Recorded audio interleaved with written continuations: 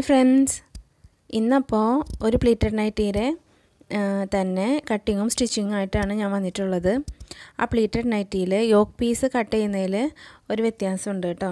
അപ്പോൾ അത് നിങ്ങൾക്ക് കാണിക്കാൻ വേണ്ടിയിട്ടാണ് ഞാൻ ഈ വീഡിയോ ചെയ്തിട്ടുള്ളത്. അപ്പോൾ നിങ്ങൾ വീഡിയോ മുഴുവനായിട്ടും കണ്ടു നോക്കിയോളൂ. ഇഷ്ടമായ ലൈക്ക് ചെയ്യാനും ഷെയർ ചെയ്യാനും സബ്സ്ക്രൈബ് ചെയ്യാനും മറക്കരുത് കേട്ടോ.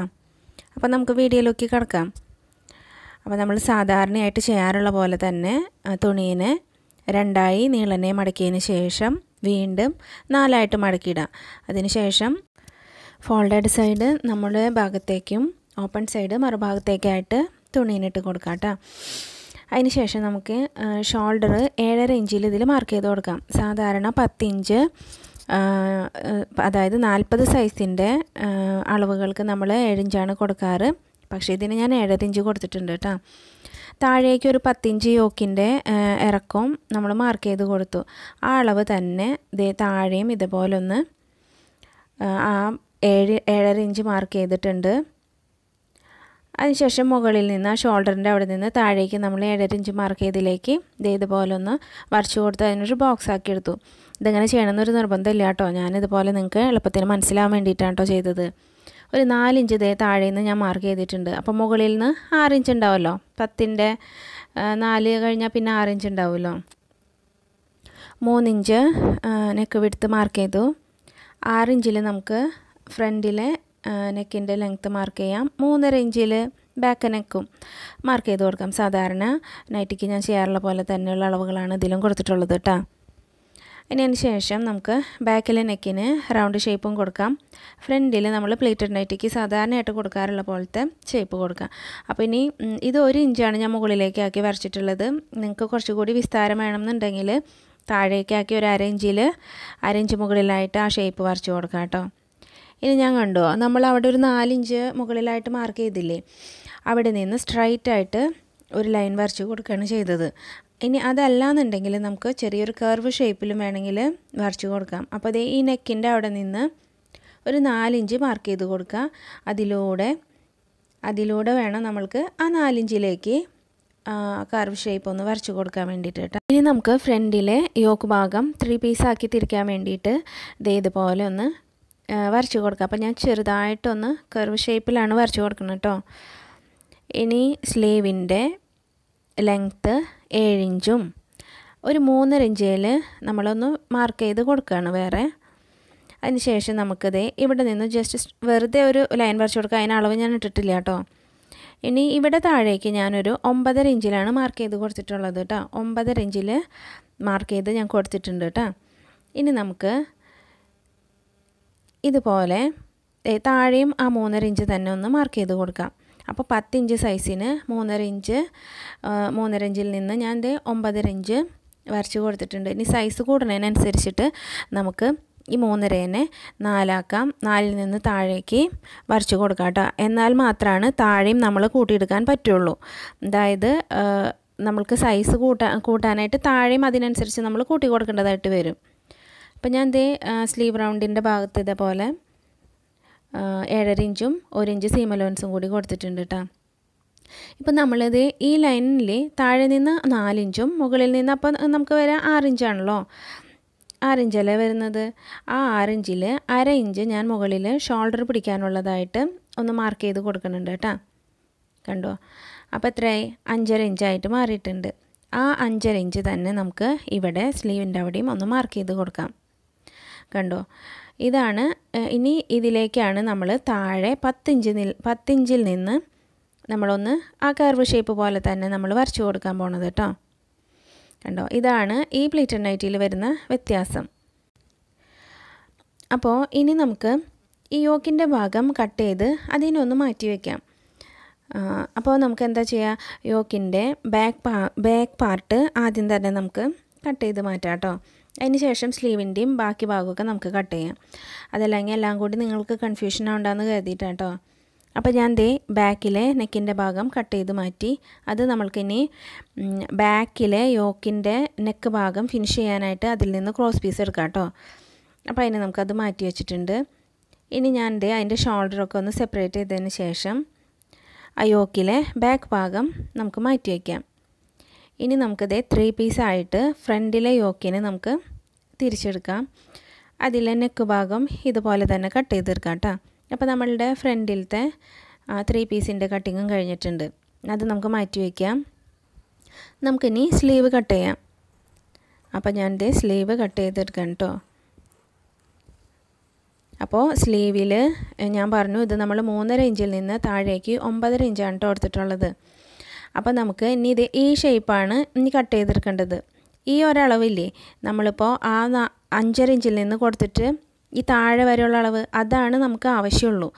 കറക്റ്റ് അത്ര വേണ്ടും. പക്ഷെ ഞാൻ ദേ ഇവിടെ ഒരു കുറച്ച് ഞാനൊന്ന് കൂടുതൽ മാർക്ക് ചെയ്ത് കൊടുക്കുന്നുണ്ട്. അതെന്തിനാണെന്നറിയോ അപ്പോൾ നമ്മൾ ചിലർക്ക് സംശയമുണ്ട്.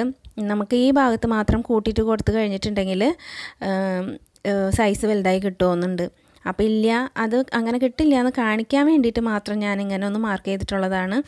നമ്മൾ ആ സ്ലീവിന്റെ ഭാഗം കട്ട് ചെയ്തിട്ടുള്ള അത്രത്തോളം മാത്രമേ നമുക്കിതിൽ ആവശ്യം വരുള്ളൂ.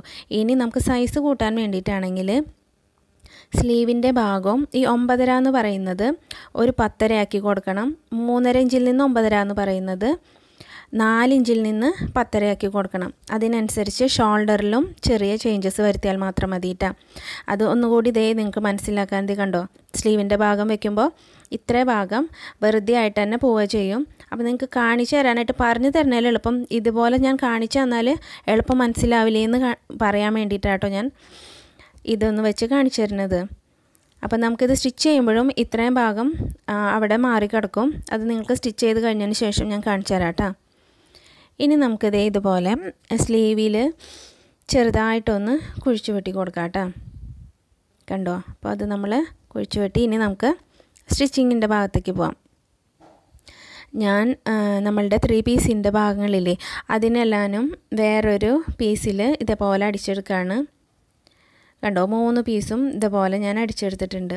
ഇനി നമുക്കതിൽ എക്സ്ട്രാ നിൽക്കുന്ന ഭാഗങ്ങളൊക്കെ കട്ട് ചെയ്ത് മാറ്റാം കേട്ടോ കണ്ടോ? ഇതുപോലെ മാറ്റി വയ്ക്കാം. ഞാനിതിന് പൈപ്പിങ്ങാണ് ചെയ്യാൻ പോണത്.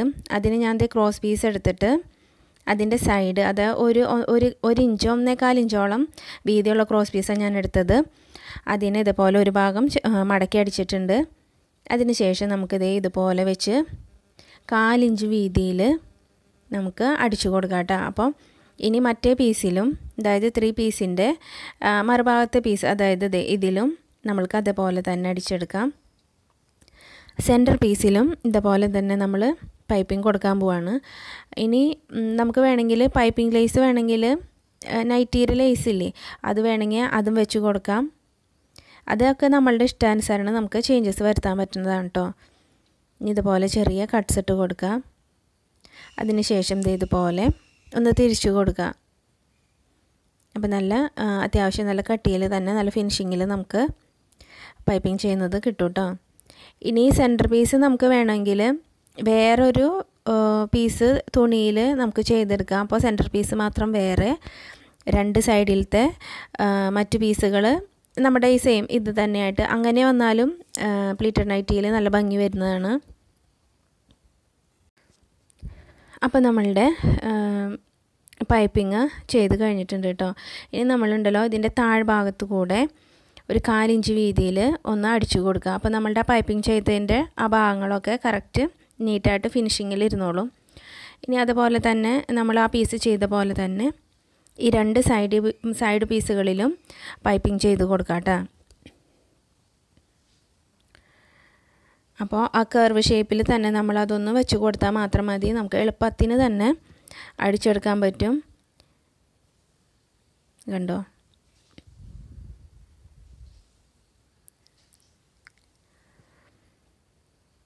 നമുക്ക് ഇഷ്ടമുള്ള കളറുകളായിട്ട് കൊടുക്കാം. നൈറ്റിയിൽ പല തരത്തിൽ യോക്ക് പീസ് വെച്ചിട്ട് പല തരത്തിൽ കട്ട് ചെയ്ത് നമുക്ക് സ്റ്റിച്ച് ചെയ്യാൻ പറ്റും കേട്ടോ അപ്പോൾ അതിൽ ഇപ്പോൾ ഞാൻ മൂന്നാമത്തെ ടൈപ്പാണിത് കാണിച്ചു തരുന്നത്.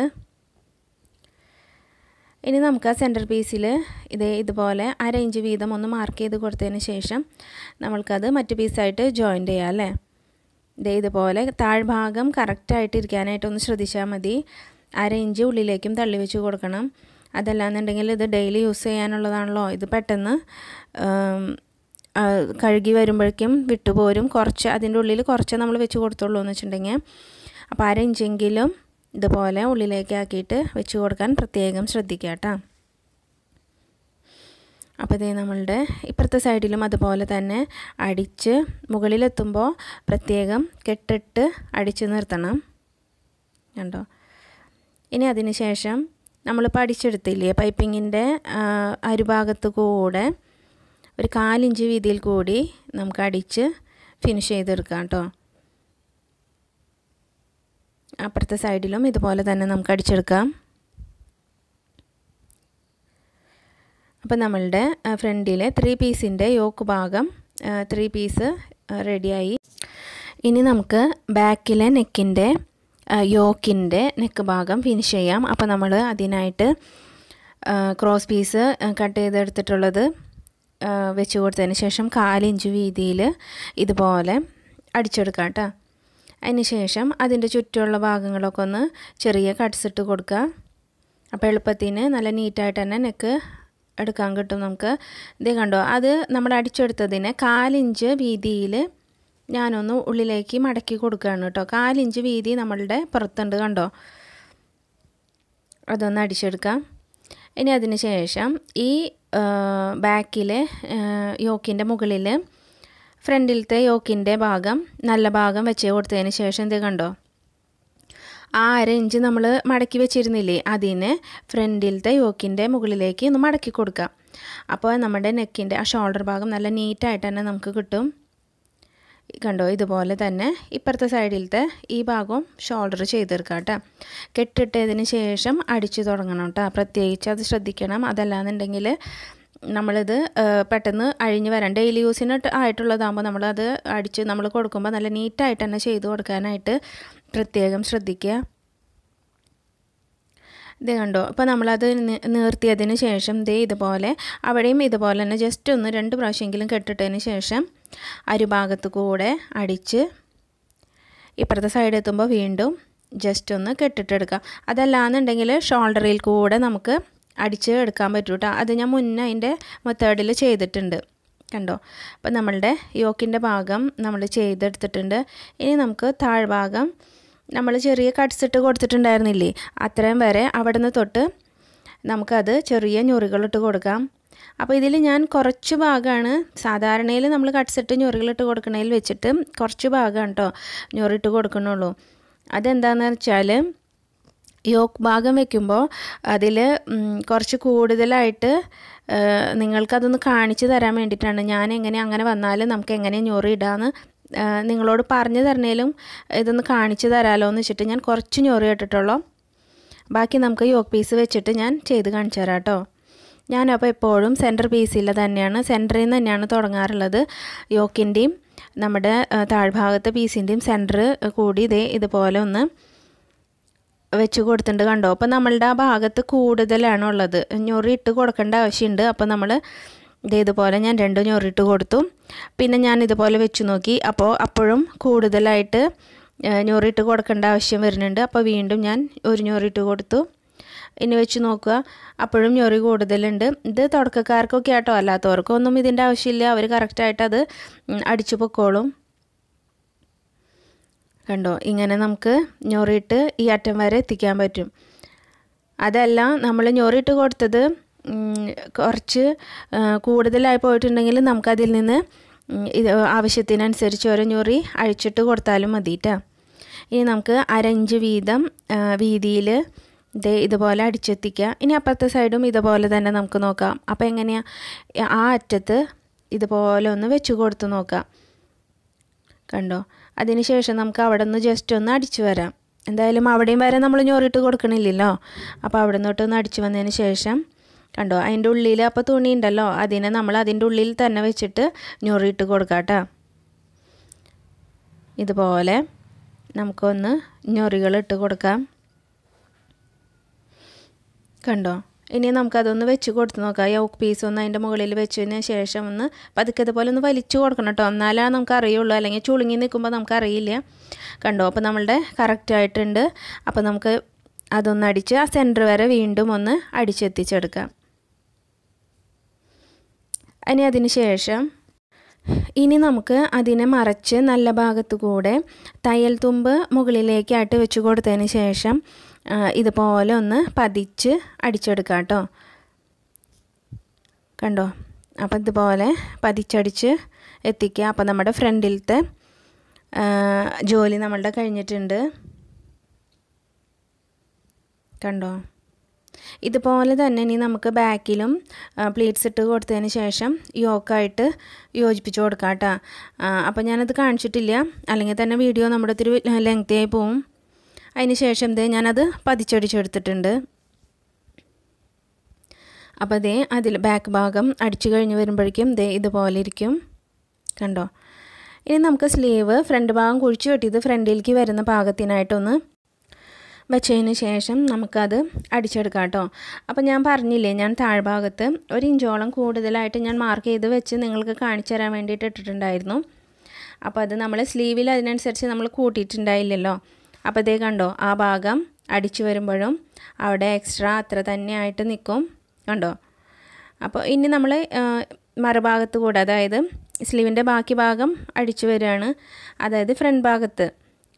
അപ്പോൾ ഫ്രണ്ട് ഭാഗത്ത് വരുമ്പോഴും ആ എക്സ്ട്രാ പീസ് അവിടെ തന്നെ അത്രയും തന്നെയായിട്ട് കിടക്കും. അത് നിങ്ങൾക്കൊന്ന് ജസ്റ്റ് നേരിട്ട് കാണിക്കാൻ വേണ്ടിയിട്ട് ഞാൻ അങ്ങനെ ഒന്ന് വരച്ച് കൊടുത്തിട്ടുള്ളതാണ്. അപ്പോൾ ഞാൻ വീണ്ടും പറയുകയാണ് നമ്മൾക്ക് എക്സ്ട്രാ വേണം എന്നുണ്ടെങ്കിൽ സൈസ് ഒരൊത്തിരി വലുതാക്കണം എന്നുണ്ടെങ്കിൽ സ്ലീവിന്റെ ഭാഗത്തും അത്രയും തന്നെ നമ്മൾ കൂട്ടി കൊടുക്കണം. അപ്പോൾ സ്ലീവും കൂടി കൂടി വന്നാൽ മാത്രമേ ഇത് കവർ ചെയ്ത് പോവുള്ളൂ കേട്ടോ അപ്പോൾ താഴ്ഭാഗത്ത് മാത്രം കൂടുതലിട്ട് കൊടുത്തതുകൊണ്ട് നമ്മൾക്ക് ഒരിക്കലും സൈസ് വലുതാക്കി എടുക്കാൻ പറ്റില്ല.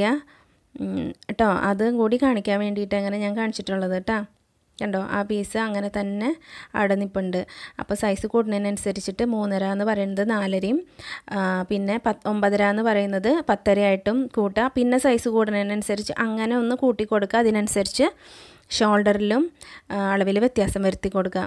അപ്പോൾ നിങ്ങൾക്ക് ഈ നൈറ്റ് ഇഷ്ടപ്പെട്ടു എന്ന് ഞാൻ വിചാരിക്കാം കേട്ടോ ഇതിന്റെ യോക്കിന്റെ ആ ഒരു ഭംഗി നന്നായിട്ട് തന്നെ നിൽക്കുന്നുണ്ട്. ആ ഒരു ഷേപ്പ് നല്ല ഭംഗിയിൽ തന്നെ നമുക്ക് കാണുന്നുണ്ടല്ലോ. അപ്പോൾ ഇനി എന്തെങ്കിലും ഡൗട്ട്സ് ഉണ്ടെങ്കിൽ നിങ്ങൾ കമന്റിലൂടെ അറിയിച്ചോളൂ കേട്ടോ അപ്പോൾ താങ്ക്